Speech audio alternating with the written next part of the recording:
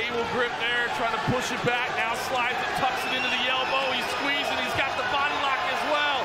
Bonakov trying to pull it down, but has to tap. Dennis the Great Buzukja with the submission win. When you can't get the clean rear naked choke, and you can't get the blade of your forearm underneath the chin, but you got that body lock, it's all about that leg squeeze.